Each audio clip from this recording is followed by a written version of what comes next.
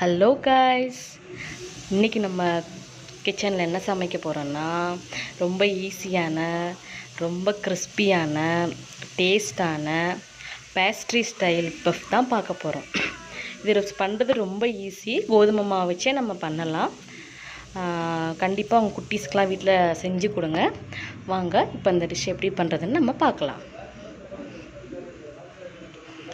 First வந்து நான் ஒரு பவுலில் ஒரு கப் கோதுமை மாவு எடுத்திருக்கேன். அதாவது டூ ஃபிஃப்டி கிராம் அப்புறம் வந்து அதில் உப்பு போட்டுக்கோங்க.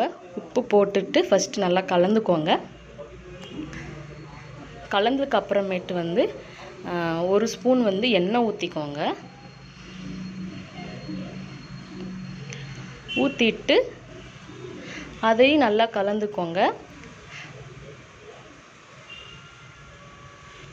ஃபஸ்ட்டு தண்ணி ஊற்றிடாதீங்க அந்த உப்பு ப்ளஸ் எண்ணெய் ரெண்டையுமே நல்லா எல்லா மாவுலேயும் படுற மாதிரி கலந்துட்டு அதுக்கப்புறம் வந்து நான் இன்றைக்கி வந்து ஒரு அரை ஸ்பூன் அளவு நான் ஓமம் சேர்த்துக்கிறேன். ஓமம் இருக்குன்னா கொஞ்சம் வாசனையாக இருக்கும். அதுக்காக ஜீரணத்துக்கு நல்லது. அப்புறம் வந்து கொஞ்சம் கொஞ்சமாக தண்ணி ஊற்றி நம்ம பிசைஞ்சிக்கோங்க. பிசைஞ்சிட்டு திரும்ப லாஸ்ட்டாக திரும்ப கொஞ்சம் எண்ணெய் ஊற்றி பிசைஞ்சிக்கோங்க. அதை மூடி வச்சுருங்க. இப்போ வந்து ஒரு மிக்சி ஜாரில் வந்து நான் முத நாள் நைட்டே வந்து பச்சை பட்டாணி நான் ஊற போட்டு வச்சுட்டேன். நீங்கள் உங்ககிட்ட ஃப்ரோசன் பீன்ஸ் இருந்தால் நீங்கள் அதை போட்டுக்கலாம் ஒன்றும் பிரச்சனை இல்லை. அப்புறம் வந்து ஒரு நாலு பச்சை மிளகா அப்புறம் வந்து ஒரு ஒரு ஒரு துண்டு இஞ்சி அப்புறம் வந்து ஒரு ரெண்டே ரெண்டு ஒரு சின்ன சைஸ் உருளைக்கிழங்கு. தொலியை மட்டும் சீவிட்டு போட்டுக்கோங்க. நாலாக கட் பண்ணி போட்டுக்கோங்க. இதை வந்து ஒரு பேஸ்ட் மாதிரி அரைச்சி வச்சுக்கோங்க. நான் உப்பு போட்டு அரைக்கல. உங்களுக்கு வேணும்னா உப்பு போட்டு அரைச்சிக்கோங்க. அப்புறம் வந்து ஒரு கடாய் வச்சுக்கோங்க. இப்போ வந்து அதில் தேவையான அளவு எண்ணெய் ஊற்றிக்கோங்க எண்ணெய் ஊற்றிட்டு எண்ணெய் காஞ்சதுன்னு ஒரே ஒரு ஸ்பூன் ஜீரகம் போட்டுக்கோங்க. சீரகம் பொரிஞ்சதுக்கு அப்புறமேட்டு ஒரு ஒரே ஒரு பெரிய வெங்காயத்தை நான் குட்டி குட்டியாக சாப் பண்ணி வச்சுருக்கிறேன். அதை போட்டுக்கோங்க. போட்டுட்டு நல்லா அந்த ஒரு நல்லா ஒரு கோல்டன் ப்ரௌன் கலர் வர வரைக்கும் கொஞ்சம் நல்லா அப்படியே ஃப்ரை பண்ணிக்கோங்க. நான் கொஞ்சம் எண்ணெய் கொஞ்சம் எக்ஸ்ட்ராவாக ஊற்றிருக்கேன் ஏன் அப்படின்னா நம்ம அந்த மசாலாவெல்லாம் சேர்த்து கிண்டும் போது கொஞ்சம் கொஞ்சம் கெட்டியாக இருக்கும். பிசைறது கஷ்டமாக இருக்கும். பெரட்டுறதுக்கு. அதுக்காக நான் கொஞ்சம் எண்ணெய் எக்ஸ்ட்ராவாக ஊற்றிருக்கிறேன் அப்புறமேட்டு இந்த மசாலாவை நம்ம அரைச்சி வச்சுருந்தோம் இல்லையா? அதை போட்டுக்கோங்க. போட்டு நல்லா கிண்டிக்கோங்க. கிண்டிட்டு அதுக்கு தேவையான அளவு உப்பு போட்டுக்கோங்க. உப்பு போட்டு அதையும் நல்லா கலந்துக்கோங்க. கொஞ்சம் கெட்டியாகும் ஆனால் பரவாயில்ல. அப்படி தான் இருக்கும் அது ஆனால் டேஸ்ட்டாக இருக்கும். நல்லா கிண்டிக்கோங்க. அந்த பச்சை வாசனை போகிற வரை கொஞ்சம் கிண்டிக்கோங்க. கிண்டினதுக்கப்புறம் கொஞ்சம் ஒரு ஒரே ஒரு ஒரு டம்ளர் அளவுக்கு தண்ணி ஊற்றி அதில் கொதிக்க வச்சுக்கோங்க. இது வந்து ஒரு மூடி போட்டு வச்சுக்கோங்க. ஒரு மூணு நிமிஷத்துக்கு வந்து அப்படியே இருக்கட்டும். அப்போ தான் அந்த பச்சை வாசனைலாம் போய் நமக்கு அந்த உள்ளே அந்த ஸ்டஃபிங்க்கு வைக்கிற அளவுக்கு நல்லா கொஞ்சம் ரெடி ஆகும். ரெடி ஆயிரும். அப்போ வந்து இப்போ வந்து ரெடி ஆயிடுச்சு. நம்ம வந்து ஒரே ஒரு ஸ்பூன் வந்து வினிகர் நான் சேர்க்குறேன். நீங்கள் லெமன் சேர்த்துக்கோங்க. லெமன் வந்து ஒரே ஒரு ஒரு ஸ்பூன் சேர்த்துக்கோங்க. சேர்த்துட்டு அதுக்கப்புறம் ஸ்பைசஸ்லாம் ஆட் பண்ணிக்கலாம். இப்போ வந்து ஒரு ஸ்பூன் வந்து மஞ்சள் தூள் அதுக்கப்புறம் பார்த்தீங்கன்னா ஒரு ஸ்பூன் வந்து ஜீரகத்தூள்.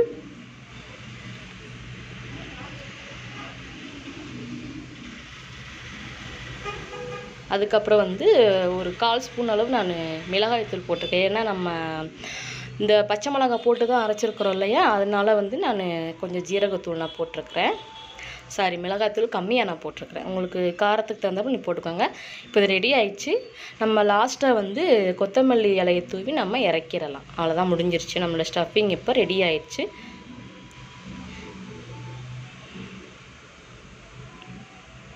இப்போ வந்து ஒரு கிண்ணத்தில் வந்து நான் நாலு ஸ்பூன் வந்து சோள மாவு எடுத்துருக்கிறேன். ஒரு நாலு ஸ்பூன் அளவு நான் இங்கே சோள மாவு போட்டு அதில் வந்து எண்ணெய் ஊற்றி கொஞ்சம் கலந்து வச்சுக்கோங்க. அதாவது கம்மு மாதிரி இருக்கணும் ஒட்டுறதுக்கு. அப்படின்னா ஏதோ ஒரு ஆறு ஸ்பூன் எண்ணெய் வரும்னு நினைக்கிறேன். ஆமாம் ஒரு ஆறு ஸ்பூன் அளவு எண்ணெய் ஊற்றி நல்லா அந்த கம்மு பதத்துக்கு வந்து நீங்கள் அப்படி ரெடி பண்ணி வச்சுக்கோங்க.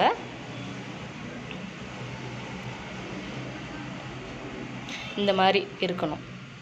இப்போ நம்ம மாவை விரிச்சிடலாம். லாஸ்ட்டு அந்த மாவு விரிக்கிறதுக்கு முன்னாடி நீங்கள் திரும்ப ஒரு வாட்டி வந்து அந்த மாவை நல்லா பிசைஞ்சு விட்டுக்கோங்க. நல்லா சாஃப்டாக இருக்கணும் மாவு. ஹார்டாக இருந்துச்சுன்னா நமக்கு பஃப் வந்து நல்லாவே வராது. கொஞ்சம் ஹார்டாக தான் இருக்கும். அதனால் கொஞ்சம் அந்த விரிக்கிறதுமே நல்லா ஒரு வாட்டி நல்லா பிசைஞ்சிட்டு அப்புறமா விரிக்க ஆரம்பிச்சிடலாம். இப்போ கீழே போ விரிக்கிறதுக்கு நல்லா உருட்டிட்டு ஒரு கத்தி வச்சு குட்டி குட்டி பால் மாதிரி செய்யணும். அதுக்காக நம்ம கட் பண்ணிக்கோங்க. ஈவனாக கட் பண்ணிக்கோங்க.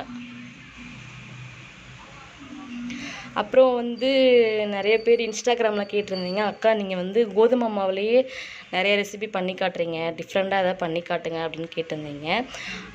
நான் என்ன சொல்கிறேன்னா இப்போ வந்து லாக்டவுன் முடிஞ்சு குழந்தைங்க யாருமே ஸ்கூலுக்கு போகலை குட்டீஸ்லாம் நிறைய வீட்டில் இருப்பாங்க. கோதுமை மாவு எப்போவுமே நம்ம வீட்டில் இருக்கும். அதாவது கோதுமை மாவு உருளைக்கிழங்கு வச்சு நம்ம இத்தனை வெரைட்டி ஆஃப் டிஷ்ஷஸ் வந்து நம்ம பண்ண முடியும். அப்படின்றதுக்காக தான் நான் வந்து இந்த கோதுமை மாவு வச்சு நான் உங்களுக்கு நிறைய ரெசிபி நான் பண்ணி காமிக்கிறேன். ஈவினிங் டைமில் இது பண்ணி கொடுங்க நல்லா சாப்பிடுவாங்க. அதுக்காக தான் இது நான் கோதுமை மாவு வச்சு நிறைய நிறையா ரெசிபி நான் வந்து உங்களுக்கு பண்ணி காட்டுறேன். இப்போ அந்த கட் பண்ண அந்த மாவெல்லாம் வந்து இந்த மாதிரி விரிச்சிருங்க.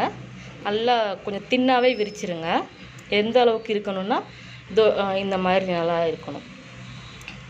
விரிச்சிட்டு ஒரு பிளேட்டு வச்சுக்கோங்க. அதில் வந்து ஃபஸ்ட்டு விரிச்ச அந்த இதை போட்டுட்டு அதுக்கு மேலே நம்ம அந்த அந்த கம்மு மாதிரி ரெடி பண்ணி வச்சுருந்தோம் இல்லையா சோள மாவில்.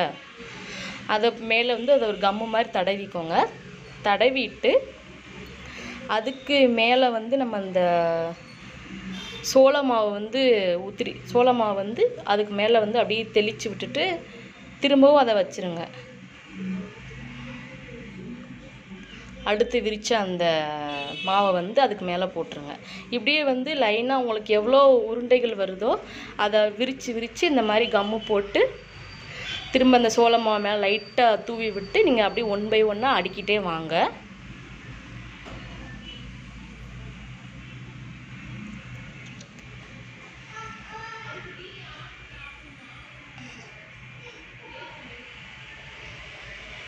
அது கொஞ்சம் அந்த ரவுண்டு வந்து ஈவனாக இருக்காது. இல்லைனாலும் பரவாயில்ல. ஏன்னா நம்ம திரும்ப நம்ம ரோல் பண்ணி நம்ம வெட்ட தான் போகிறோம் அதனால் உங்களுக்கு என்னடா ஷேப் வரலன்னு நினைக்காதீங்க. பரவாயில்ல. நம்ம எக்ஸஸ் எல்லாம் கட் பண்ணிக்கலாம். இப்போ அதை அப்படியே லைட்டாக அப்படியே அழகாக கேர்ஃபுல்லாக அப்படியே ரோல் பண்ணிடுங்க திரும்பவும். நான் ஏன் இந்த மாதிரி ரோல் பண்ணி ஃபஸ்ட்டு ரோல் பண்ணி கட் பண்ணிட்டு திரும்பவும் ரோல் பண்ணுறேன்னா நம்ம லாஸ்ட்டாக அந்த பொறிச்சிட்டு நம்ம பார்க்கும்போது அப்படியே அந்த அந்த அந்த லேயர் லேயராக இருக்குது. நல்லா கிறிஸ்பியாக வரும். அதுக்காக தான் நான் வந்து ரெ ரெண்டு வாட்டி இந்த மாதிரி பண்ணுறேன் நான். திரும்பவும் அதை இந்த மாதிரி குட்டி குட்டி பகுதியாக வந்து வெட்டிக்கோங்க. வெட்டிட்டு தனித்தனியாக எடுத்துக்கோங்க. எடுத்து அந்த பார்த்திங்கன்னா உள்ளே அந்த ரோல் மாதிரி இருக்கும். நம்ம பார்த்தாலே நமக்கு தெரியும். இதோ பாருங்கள் இதே அந்த மாதிரி நல்லா விரிச்சிட்டு உங்களுக்கு விரிக்கும் போது அந்த ரவுண்ட் ரவுண்டாக இருக்கிறது தெரியும். இதே அந்த மாதிரி நல்லா கொஞ்சம் சாஃப்டாக விரிச்சுக்கோங்க. விரிச்சிட்டு ஒரு கத்தி எடுத்து நமக்கு வந்து என்ன ஷேப் வேணுமோ அதாவது ட்ரையாங்கிள்னால் ட்ரையாங்கிளு ஸ்கொயர்னா ஸ்கொயர் நான் வந்து இன்னைக்கு ஸ்கொயர் தான் நான் எடுக்க போகிறேன் அதாவது பஃப் வந்து எனக்கு ஸ்கொயர் ஷேப்பில் தான் நான் கட் பண்ண போகிறேன் இந்த மாதிரி சதுரமாக வெட்டிக்கோங்க. அந்த லாஸ்ட்டில் அந்த கட் பண்ணுறதெல்லாம் வேஸ்ட் பண்ணிடாதீங்க. நம்ம திரும்ப அதை வந்து ஒரு ஷேப்பாக பண்ணி உள்ள ஸ்டஃபிங் வச்சு நம்ம பொறிச்சு எடுத்துடலாம். இந்த மாதிரி சதுரமாக வச்சுக்கோங்க. ஃபஸ்ட்டே நீங்கள் வந்து மடித்து பார்த்துக்கோங்க. நமக்கு அந்த அந்த முக்கோணம் மாதிரி கரெக்டாக வரணும். வச்சுட்டு நீங்கள் அப்புறமா அதை உள்ள ஸ்டஃபிங் வச்சிடலாம். இப்போ அந்த ஸ்டஃபிங் எடுத்து உருண்டையாக பிடிச்சி லாஸ்ட்டில் வைங்க. மேலே வைக்காதீங்க. சென்டர்லேயும் வைக்காதீங்க. கொஞ்சம் கீழே இறக்கி வைங்க. அப்போ நமக்கு ஷேப் கொஞ்சம் கரெக்டாக வரும். இது அந்த மாதிரி. கொஞ்சம் இறக்கி வச்சுட்டு நாலு பக்கமும் தண்ணி தட ரொம்ப தண்ணி தர லைட்டாக தொட்டு அப்படியே ஒட்டுற ஒட்டுற அளவுக்கு வைங்க. நிறைய தண்ணி தட்டுங்க அப்புறம் மாவு கிழிஞ்சிரும் நமக்கு. லைட்டாக நாலு பக்கமும் தொட்டு வச்சுக்கோங்க. வச்சுட்டு இந்த மாதிரி மடக்கிக்கோங்க. கொஞ்சம் அப்படியே கவனமாக அப்படியே மடக்கிக்கோங்க.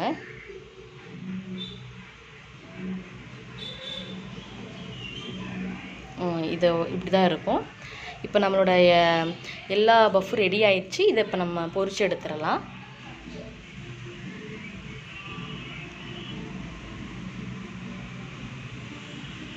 இப்போ எண்ணெய் காஞ்சிருச்சு. நம்ம பஃப் போட்டுடலாம்.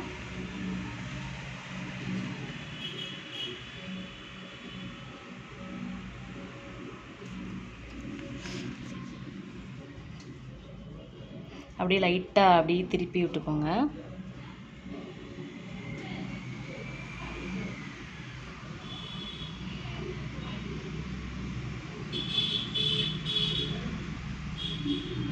அப்படியே மெதுவாக திருப்பி போட்டுக்கோங்க.